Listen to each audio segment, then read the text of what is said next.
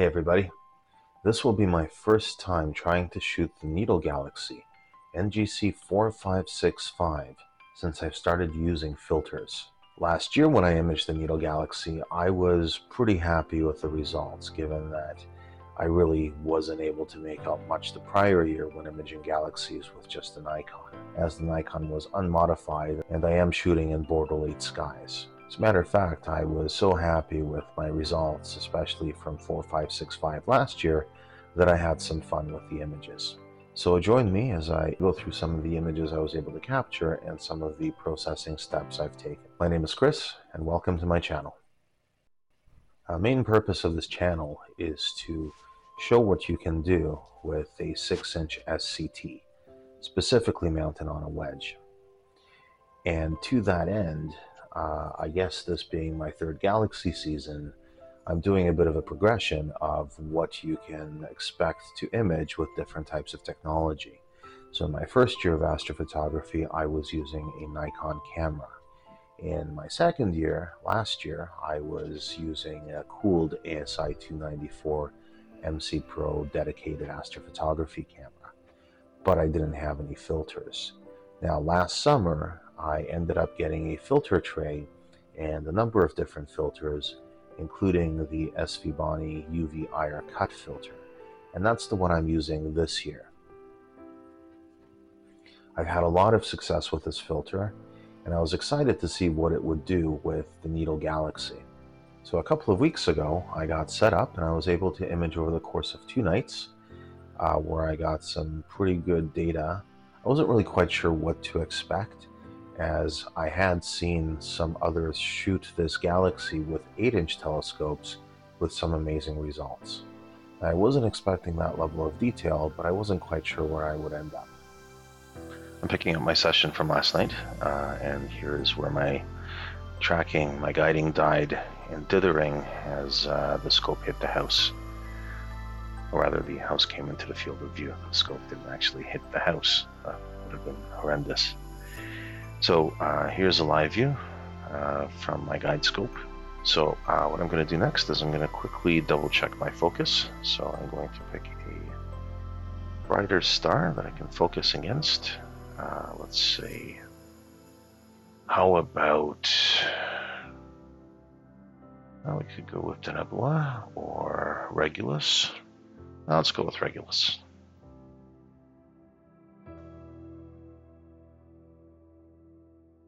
All right, there's the scope slewing. Is my position changing? All right, we've got Regulus more or less centered. Um, and my guide scope is really off. I need to adjust this thing so it points more or less into the center. Doesn't matter too much to me right now. All right, there's Regulus. Let's uh, use the focus aid. So I'll bring up the focus aid. And that's too bright right now. Let's tone it down a bit. I'm going to go back to cam. Let's retake this image at one second. All right, it's a bit better. Let's use the autofocus aid and let it determine our focus. So currently the focus is set to 30,684. And let's run that and see what happens.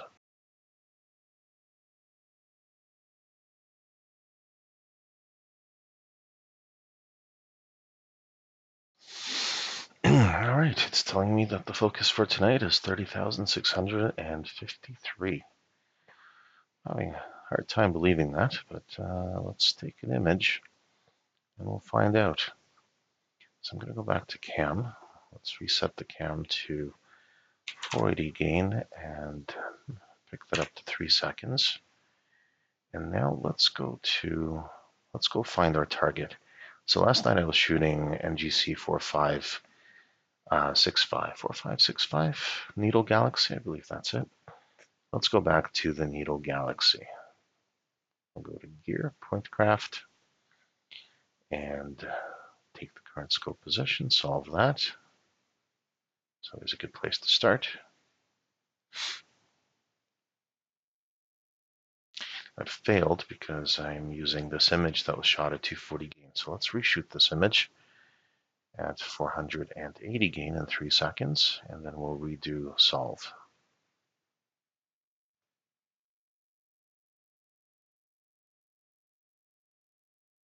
And it failed. See, I'm not liking this. Look. These stars do not look right. At all. I'm going to go back to last night's focus. 30,800, uh, 684.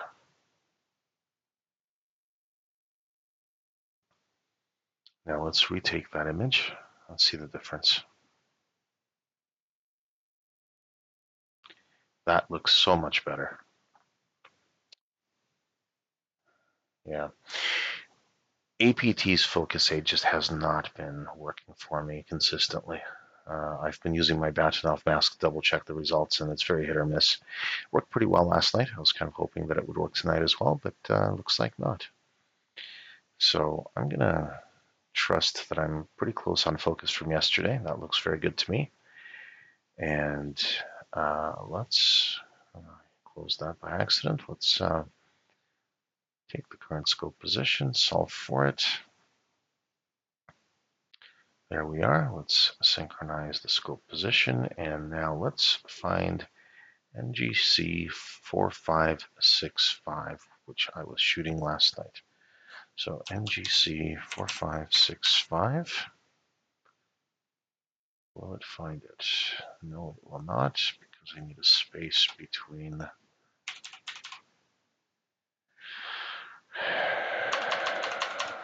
uh, okay, let's go down here. Insert. I don't want inserts. I want to do NGC 565. Got some gremlins in the works tonight, I think. There it is, the Needle Galaxy. And let's go to. My mount should be moving. There it is. There it goes. and it's going all the way over to Coma Berenice, or Coma Berenices. And I took a time lapse of that with my camera mounted on the back of my telescope. Came out kind of cool. So now we're solving for the position of NGC 4565.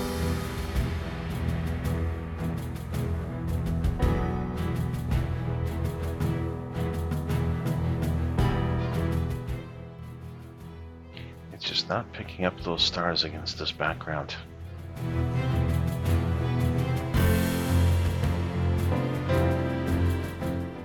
I think we may have to synchronize on a different, brighter object for a moment.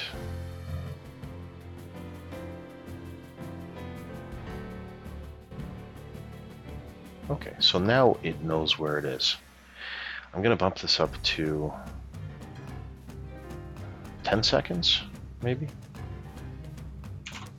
All right. And now let's slew to four, five, six, five.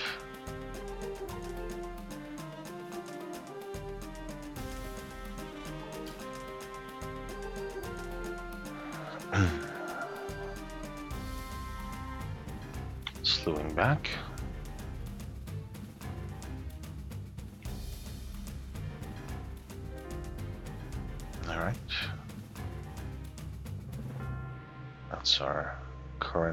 Current live view. I close my diagnostics here. I don't need those up anymore.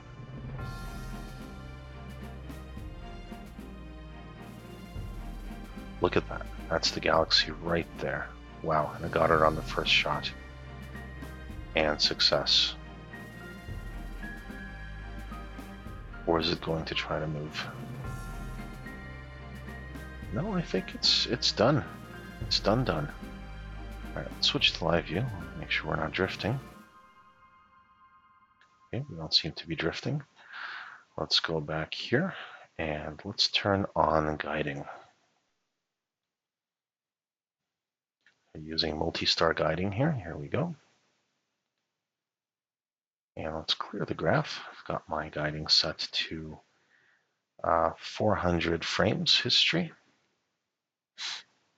All right, there it is. Yeah, let's clear that. Get a fresh graph going for tonight. Whoa, where's my RA going? Come back, RA. Okay. All right, we'll let that uh, guide away over here while we go back into APT and close out of Pointcraft. And let's get ourselves a imaging plan going. So I'm going to select at uh, 10 p.m. right now. I'm going to select an eight-hour plan. So here's eight hours, and I want to use 240 gain. There it is. Let's edit this. So 180 exposures. I'm doing three minute uh, images, 240 gain, and I'm getting 160 of those. And that is eight hours.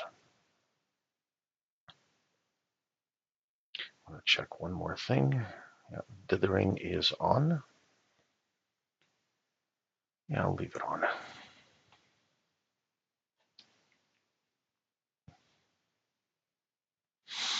All right, and start. Here we go.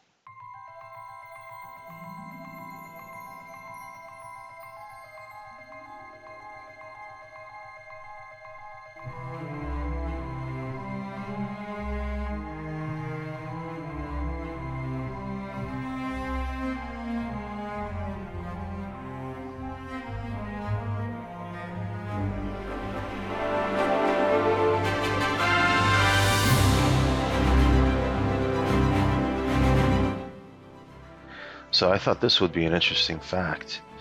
Uh, here's a list of galaxies that I had imaged over the last little while. And NGC 4565 happens to be the dimmest galaxy I have imaged to date with a magnitude of uh, 10.42. That's a galaxy that's a fair size across, but it's uh, um, not very wide. So it's uh, tall, wide. What's what dimensions would you use on this? It's it's very wide but not very tall, uh, which is why it's called the Needle Galaxy. Um, but uh, yeah, it's it's a fairly dim galaxy, so capturing it in Bortle skies is a little bit of a challenge. Uh, I was able to image it over the course of two nights, and out of that uh, came 206 frames at 130, or rather 180 seconds of frame, so that's three minutes, uh, for a total of 10 hours and 18 minutes of integration time. And uh, in terms of processing, I first ran all of the uh, frames through Deep Sky Stacker. I weeded out those that um, uh, had stretched stars that had some other artifacts that uh, had bright backgrounds. Uh, didn't quite work out, and out of those, or, or, out of all of those frames is, and that's where I ended up with the 206 frames. So my my starting point was was a little bit higher. So processing wise, first I went through Siril, and in Siril uh, I did some basic stretching. So these are the files that I imported into GIMP after Siril. Uh, what I did is uh, a couple of different variations, one with stars, one without. So this is just a basic uh, stretch in Siril uh, with uh, some of the background removed with the green noise removed. Now with this image, I, I did a second pass of the same image with star removal, which led to this image here. Uh, and then I save this as a stars layer. So here's a stars layer now uh, with the stars from the first image extracted. And then from here, I took the image of just the galaxy and I performed various levels of stretches. So here is a, a stretch that really emphasizes the dark dust lanes uh, here's another one that emphasizes the uh, the actual core of the galaxy, but oversaturates the image. Uh, here's one that uh, tones that down a little bit to bring out some of the detail. And uh, here's one that, that really takes the contrast in, and so on and so forth. And what I ended up with is this combination that I ended up using as my final image. So I had, uh, let's see, this image. So I'm going to shut down all these other ones. Okay, so there's this one as a base with this one added. And then this one to enhance uh, some of the, uh, the coloring. For this uh, Galaxy season, especially in some of my latest captures, what I've tried to do is stick to just uh, curve adjustments. So uh, different levels of curves to bring out different levels of details, but holistically for the entire image, and then blending everything back in so that what you end up with is really just the original image that's been curve adjusted to bring out the best of the various details and colors. So that's what, what we have here. So uh, these three layers, uh, between the three of them are the galaxy itself. And then I've got the stars layer that I add over top of that to bring the stars back in. And these are the stars from the original image that I had extracted at the beginning so that I wouldn't stretch the stars as I was adjusting the, the curves and uh, for the galaxy itself. So here we are. Uh, we've got uh, the galaxy here. I'm, I'm, really happy with the coloring, uh, the blue that actually came through, and the detail in the dust lane. Now, it's certainly not the level of detail that you would get with a larger scope. I've seen some beautiful images done with 8-inch uh, SCTs. Um, but uh, you know, compared to what I had the previous year, I'm really happy with uh, with how this is progressing. So there we are. Uh, this is uh, NGC 4565 with a 6-inch NexStar 6SE Celestron telescope, now imaged with a SVBONY UV IR cut filter over the course of 10 hours. Thanks for watching and uh, clear skies.